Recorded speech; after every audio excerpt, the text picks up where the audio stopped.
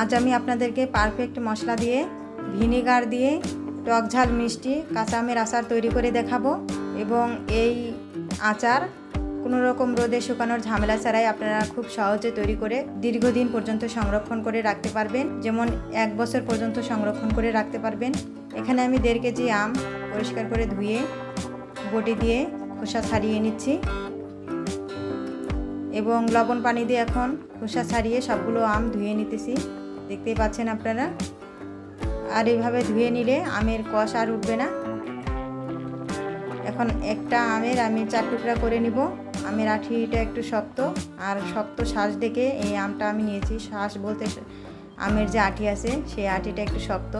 এরকম আম আমি নিয়েছি। আপনারাও এই শক্ত আঠি দেখেই আমটা দিয়ে আচার তৈরি করবেন।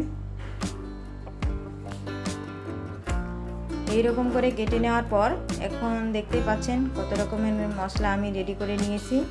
এই মশলাগুলো আমি এখন আমের মধ্যে দিব আর এক এক করে নামগুলো বলব। এখানে আমি হাফ কাপ সর্ষের তেল দিলাম। আপনার সর্ষের তেল চাইলে বেশি করে দিতে পারেন। হাফ চা চামচ পাঁচফোড়ন দিলাম। গোটা পাঁচফোড়ন, দুইটা গোটা শুকনা মরিচ, এগুলো এখন হালকা ভেজে নেব তেলে।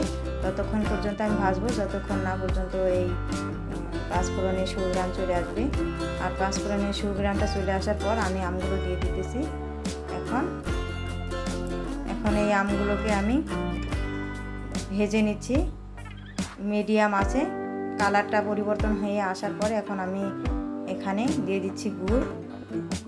আর আপনারা সাথে সাথে গুড় দিবেন না, একটু সময় ভেজে এই আমটাকে ভেজে তারপর গুড়টা দিয়ে দিবেন বা চিনি দিয়ে দিবেন।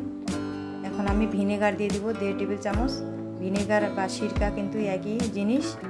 ভিনেগার আপনারা চাইলে একটু বাড়িয়েও দিতে পারেন। কম দেওয়ার চেয়ে বাড়িয়ে দেওয়াই একটু ভালো। এখানে আমি দেড় টেবিল চামচ ভিনেগার দিয়ে দিলাম। ভিনেগার দিলে এই আমটা দীর্ঘদিন পর্যন্ত সংরক্ষণ থাকবে। ভিনেগারটা দিয়ে ভালো করে আবারও নেড়ে ছেড়ে দিচ্ছি। নেড়ে ছেড়ে দেওয়ার পর দেখতে পাচ্ছেন গুড়টা গলে গিয়েছে। এখন আমি লবণ দিয়ে দিব।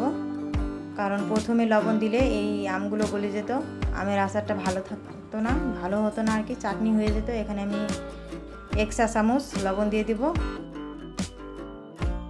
এক চা চামচ ভাজা জিরার গুঁড়া দিয়ে দিলাম, ধনিয়ার গুঁড়া হাফ চা চামচ দিলাম, পাঁচফোড়ন গুঁড়া, পনে এক চা চামচ, গুঁটা ভাজা শুকনা মরিচ দিয়ে দিচ্ছি, গুঁড়ো করে নিয়েছি।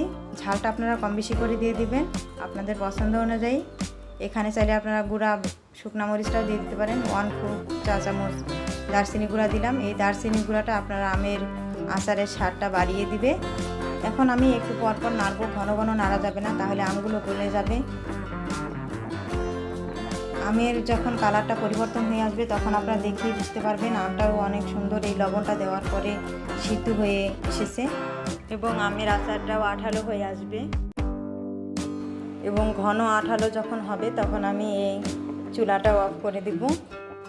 আধা ঘণ্টা সময় নিয়ে এই আমি আমের আচারটা তৈরি করে নিলাম। আর একটু নাড়াচাড়া করব। আর চোরা রাস আপনারা সবসময় মিডিয়ামের চেয়ে একটু কম রাখবেন, একদম লো করে দিবেন না। আস্তে আস্তে চাল করবেন আর এই আমের আচারটা তৈরি করবেন, তাহলে আচারটা অনেক সুস্বাদু হবে। এখন পরিবেশনের জন্য নামিয়ে নিচ্ছি আমি। দেখতেই পাচ্ছেন আপনারা, আমের যে আটিটা আছে সেটা পুরো রয়ে গেছে। আমটাও কিন্তু পারফেক্টভাবে সিদ্ধ হয়েছে। এখন আপনারা এইভাবে আচার তৈরি করে একটি কাঁচের জারে সর্ষে তেল দিয়ে তারপরে রেখে দিতে পারেন সংরক্ষণের জন্য। এবং ফ্রিজে রেখে দিলে আরও বেশি ভালো থাকবে এই কাঁচা আমের টক ঝাল মিষ্টি, কাঁচা আমের আচার।